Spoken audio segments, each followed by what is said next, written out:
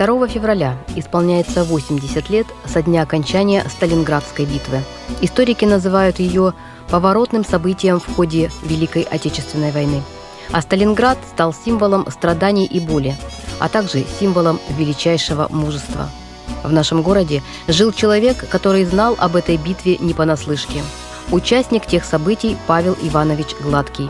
Предпочитал о них не вспоминать. Но для нашей съемочной группы в 2013 году сделал исключение.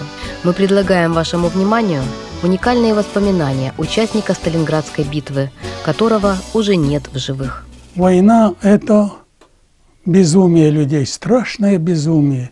17 июля 1942 года началась Сталинградская битва, которую считают одной из самых значимых и масштабных в истории 20-го столетия. Житель Артема Павел Иванович Гладкий знает о ней все. Сам был участником тех событий.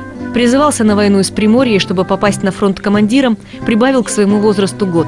Дальше Свердловское военное училище связи, Москва, Балашов, где формировалась дивизия, и Сталинград. А потом шли 600 километров пешком только ночью на Сталинград.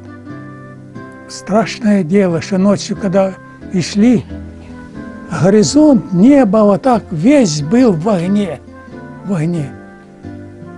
Немцы город снесли. Гитлер давал Паулюсу задание за семь дней взять Сталинград и форсировать красавец эту Волгу. Он считает себя счастливчиком, потому что, несмотря ни на что, ему удалось остаться в живых. Бои были каждый божий день, каждый час. Земля дрожала. И я за эти шесть месяцев, если стоял на ногах сутки, это хорошо. А все время по-пластунски.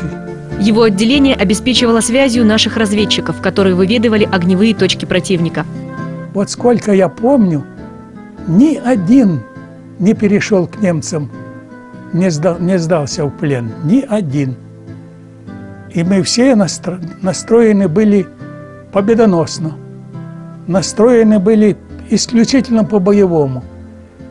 Наша дивизия была сформирована с дальневосточников и сибиряков.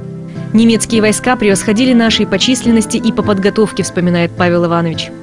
Листовками нас забрасывали и призывали нас сдаться.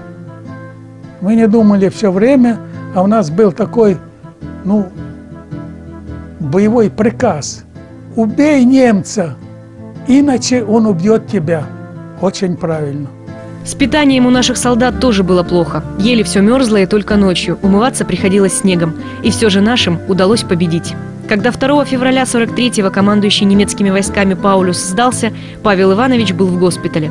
За неделю до победы его тяжело ранило. Затем вернулся домой в Приморье уже с медалью за боевые заслуги.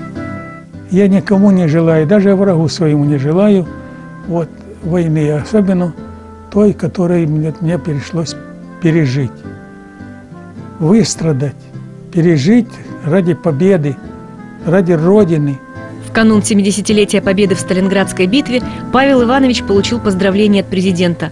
Хотя сам он даже со своей супругой Анной Ивановной, с которой они вместе много лет, предпочитает не вспоминать о той страшной войне. А мы будем помнить.